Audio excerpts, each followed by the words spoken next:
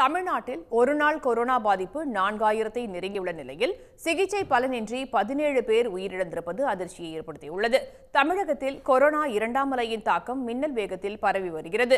இதன் காரணமாக நோய் தொற்றின் பாதிப்பும் நாளுக்கு நாள் அதிகரித்துக் கொண்டே செல்கிறது. மாநில சுகாதாரத்துறை வெளியிட்டுள்ள அறிக்கையில் ஒரே நாளில் மூவாயிரத்து தொள்ளாயிரத்து எண்பத்தாறு பேருக்கு கொரோனா பாதிப்பு ஏற்பட்டிருப்பது உறுதி செய்யப்பட்டுள்ளது. தலைநகர் சென்னையில் அதிகபட்சமாக ஆயிரத்து நானூற்று ஐம்பத்து ஒன்பது பேர் கொரோனாவால் பாதிக்கப்பட்டுள்ளனர்.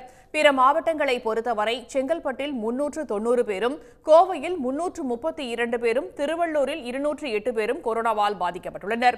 மாநிலம் முழுவதும் ஒட்டுமொத்தமாக கொரோனாவால் பாதிக்கப்பட்டவர்கள் எண்ணிக்கை ஒன்பது லட்சத்து பதினோராயிரத்து நூற்று பத்தாக அதிகரித்திருக்கிறது. கொரோனா பாதித்த பதினேழு பேர் நேற்று ஒரே நாளில் உயிரிழந்தனர். இதன் மூலம் மாநிலம் முழுவதும் உயிரிழந்தவர்கள் எண்ணிக்கை பனிரெண்டாயிரத்து இருநூற்று எண்பத்து ஒன்றாக அதிகரித்துள்ளது.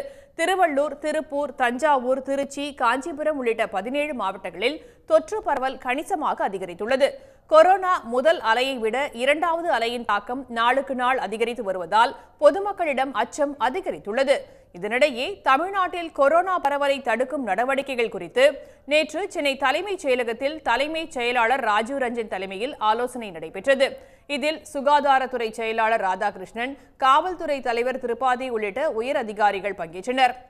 இதனைத் தொடர்ந்து இன்று பிரதமர் நடத்தும் ஆலோசனை கூட்டத்தில் ராஜீவ் ரஞ்சன் காணொலி காட்சி மூலம் பங்கேற்கிறார். பின்னர் கொரோனா பரவலை கட்டுப்படுத்துவது குறித்து புதிய அறிவிப்புகளை தமிழக அரசு வெளியிடும் என்று எதிர்பார்க்கப்படுகிறது. முழு ஊரடங்கை அமல்படுத்த வாய்ப்பில்லை என்றும் தளர்வுகளை நீக்கி தமிழக அரசின் அறிவிப்புகள் இருக்கும் என்றும் தகவல்கள் தெரிவிக்கின்றன. உடனுக்குடன் செய்திகளை தெரிந்து கொள்ள சன் நியூஸ் பெல் கிளிக் பண்ணுங்க.